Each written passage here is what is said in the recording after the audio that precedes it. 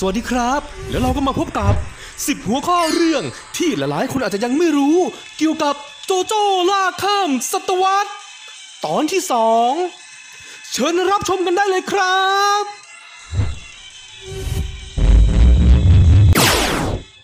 หัวข้อที่ 4 อิทธิพลของหนังสยองขวัญ ที่มีต่อ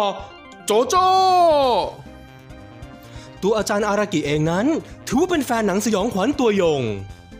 ถึงขนาดเคยเขียนหนังสือวิเคราะห์ และแนะนำหนังสยองขวัญออกมา เพราะฉะนั้นเพื่อนๆจะสังเกตได้ว่า ลักษณะและความสามารถของสแตนบางตัว รวมไปถึงเนื้อหาบางตอน มีความใกล้เคียงกับหนังสยองขวัญหลาย ๆ เรื่อง ยกตัวอย่างเช่น ตอนที่เอซิดิสเหลือแต่สมองแล้วสิงคนได้นั้น concept ใกล้เคียง ปีศาจที่มีแต่สมองจากหนังเรื่อง Fiend Without a Face จุดที่ทั้งคู่มีเหมือนกัน 1. ทั้งคู่ต่างเป็นปีศาจที่มีแต่สมองและเส้นประสาท 2. ต่างสามารถจู่โจมและเข้าควบคุมเหยื่อได้เหมือนกัน ต่อมา Stand ครึ่งคนครึ่งปลาอย่าง Dark Blue Moon นั้นก็มีส่วนใกล้เคียงกับกิลแมนหรือมนุษย์มัจฉาจากหนังเรื่อง Creature from the Black Lagoon จุดที่เหมือนกันของทั้งคู่ก็คือ 1. มีลักษณะเป็นครึ่งคนครึ่งปลา และอาศัยอยู่ใต้น้ำเหมือนกัน 2. ต่างมีบทบาทที่จับเอาผู้หญิงเป็นตัวประกันเช่นเดียวกัน เรามาต่อกันที่ Forever ลิงอุรังอุตังเจ้าของสแตนเรือตัวแทนแห่งไพ่ Strength นั้นก็ใกล้เคียงกับลิงอุรังอุตังที่ทำร้ายคนจากหนังเรื่องลิงจุดที่เหมือนกัน ข้อ 1. ทั้งคู่ต่างเป็นลิงที่ฉลาดเกินลิงทั่วไป สามารถจุดไม้ขีดและสูบบุหรี่ได้ ข้อ 2. ต่างใส่เสื้อผ้าเรียนแบบมนุษย์ และข้อ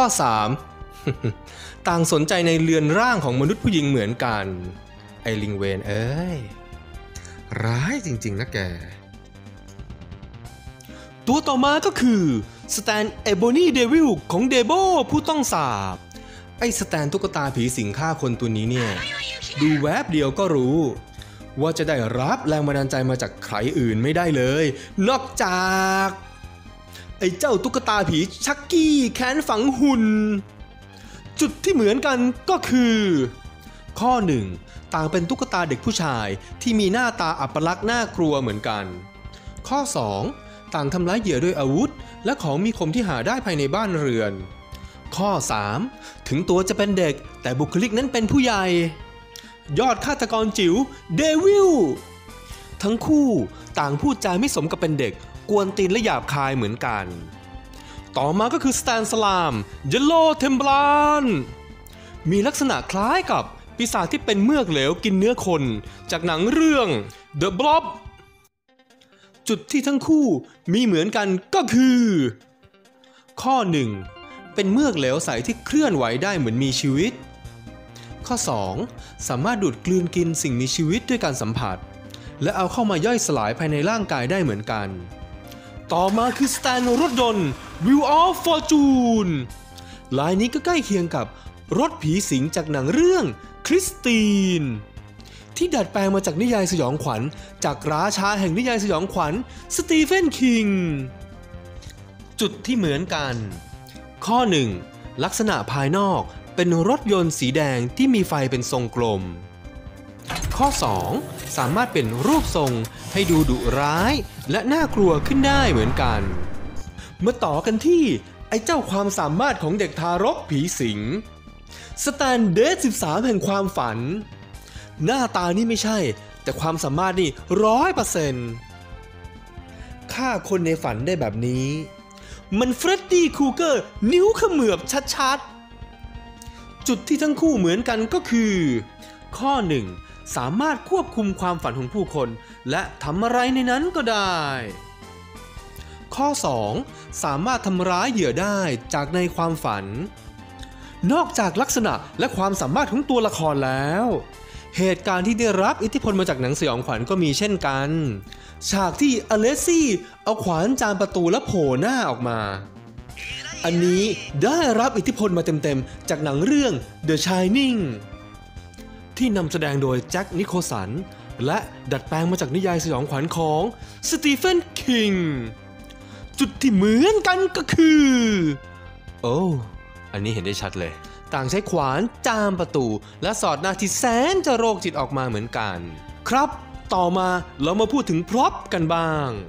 กล่องเก็บตุ๊กตากักวิญญาณของดาร์บี้คนน้อง นั้นก็ได้รับอิทธิพลมาจากตู้เก็บตุ๊กตาผีสิงที่มีชีวิต จากหนังเรื่องแค้นหุ่นผี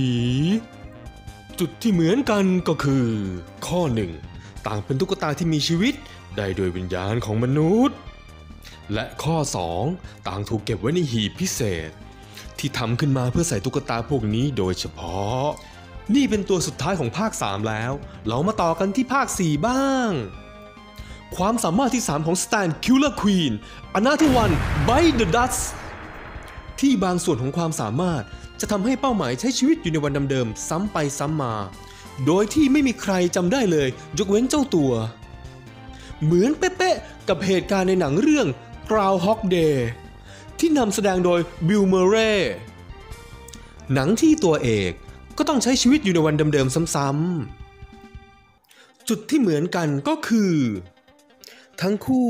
ต่างต้องใช้ชีวิตวนเวียนอยู่ในวันเดิมๆซ้ำๆ โดยสิ่งที่เกิดขึ้นในหนึ่งวันนี้จะเหมือนเดิมตลอด และคนอื่นๆ นอกจากเจ้าตัวแล้วนั้น ไม่มีใครตระหนักรู้ถึงเรื่องนี้เลย เรามาต่อกันด้วยเหตุการณ์ในภาค 6 เหตุการณ์ที่โจลีนโดนความสามารถสแตนของผู้คุมที่ชื่อว่ามิวมิวเล่นงาน จนสามารถจำได้แค่เหตุการณ์ที่เกิดขึ้น 3 เรื่องล่าสุดเท่านั้น และต้องจดทุกสิ่งทุกอย่างที่เกิดขึ้น ลงบนร่างกายเพื่อการลืมนั้น ก็เหมือนเนื้อหาในหนังเรื่อง Memento ของผู้กำกับคริสโตเฟอร์โนแลนจุดที่เหมือนกันก็คือ ทั้งคู่ต่างจำเหตุการณ์ได้เพียงแค่ 3 เรื่องล่าสุด และทั้งคู่ก็จดเหตุการณ์สำคัญต่างๆ ที่เกิดขึ้นไว้บนร่างกายเพื่อการลืม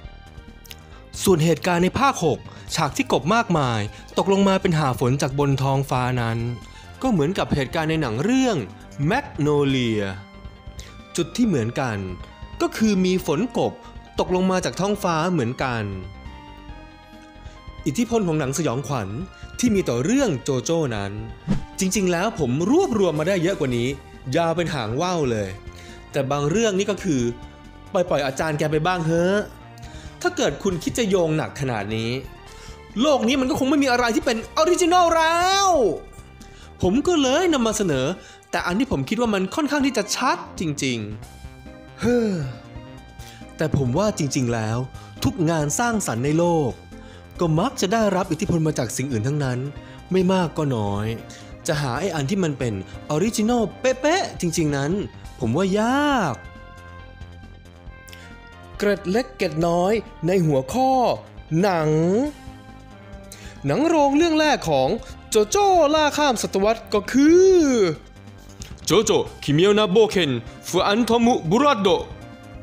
หรือโจโจ้ล่าข้ามศตวรรษสายเลือดทมิน ที่ดัดแปลงมาจากเนื้อหาในภาคที่หนึ่ง แต่เนื่องจากว่าตัวหนังไม่ประสบความสำเร็จอย่างหนัก เนื่องจากมีการตัดทอนเนื้อหาออกไปมาก จึงไม่ได้รับการผลิตออกมาในรูปแบบของ DVD หรือบูเลหลังจากที่หนังออกจากโรงไปแล้วเนื้อหาในหนังเรื่องนี้เป็นอย่างไรนั้น มีแต่คนที่มีโอกาสได้เข้าไปดูในโรงตอนเข้าโรงที่ญี่ปุ่นเท่านั้นที่จะทราบ ถึงแม้เนื้อหามันจะห่วยแตก แต่มันก็เปรียบเสมือนจอกศักดิ์สิทธิ์ของคนที่รักโจโจ ที่ถ้าเป็นไปได้สักครั้งหนึ่งในชีวิตก็อยากจะได้รับชม หนังที่เปรียบเสมือนภาพมายาในตำนานเรื่องนี้